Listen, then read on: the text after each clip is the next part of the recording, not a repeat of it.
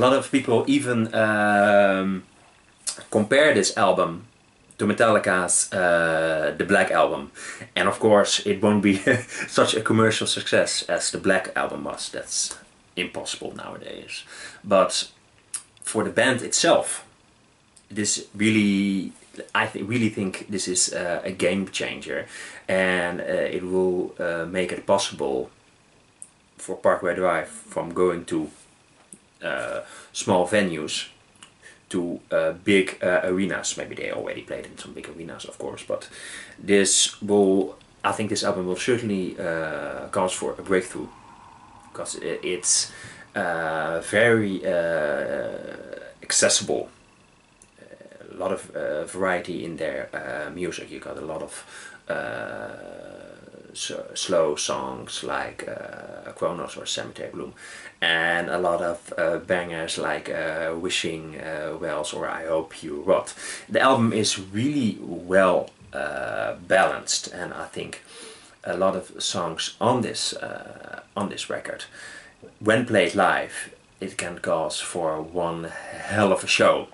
It, it, it, it just the album really it really sounds uh, alive. It really sounds full of energy and the singer Winston McCall shows that he can do it. He can he can swing both ways. He can scream his uh, lungs out but he can is he can use his clean uh, his uh, talent for clean vocals.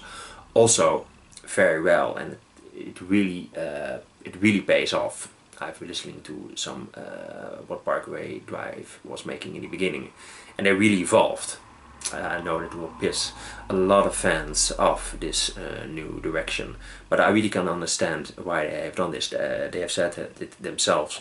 They don't really consider them uh, a metal band, a metalcore band, or at least not anymore. Um, it works for me. I thought it was a really uh, great, uh, accessible uh, album. really compact. Um, no, no, almost no uh, filler and it really it, it, it, it sounded it just sounded great. Uh, and as I said uh, a lot of a lot of energy and it will really uh, pay off during our live shows I think. And of course the first song uh, Wishing Well. I know when I first heard uh, that song and saw that video I was blown away. They don't I don't think they reach that level on that album anymore but, but I say that because I think that first song is so incredibly powerful and so incredibly strong and poignant all at the same time. Um, and uh, certainly, uh, like I Hope You Are in, in Bloom, Absolute Power.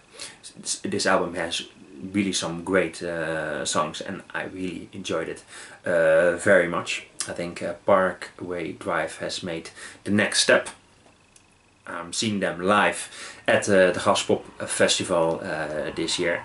Uh, I heard some great things about their live shows and I think uh, this album, the, the songs, it, it really works as an, as, an, as an album but I think it will really benefit when played during the, the, the songs will really benefit when played uh, live. Really looking forward uh, to that.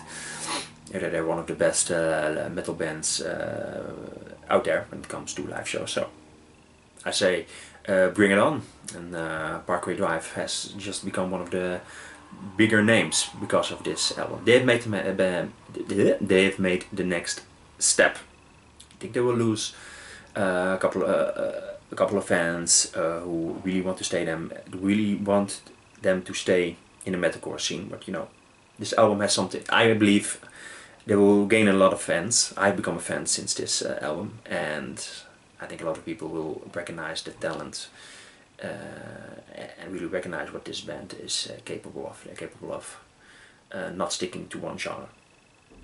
So certainly gonna recommend uh, this album. Gonna give it uh, four out of five stars, and I really looking forward to seeing them live at Graspop. Hope to see you guys there. My friends, what do you think about this album? Is it your favorite Parkway Drive album?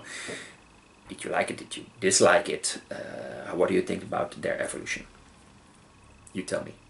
And as always, thanks so much for watching. If you liked this video, click on the like button. Subscribe if you like what I do. See you soon, my friends. Bye-bye.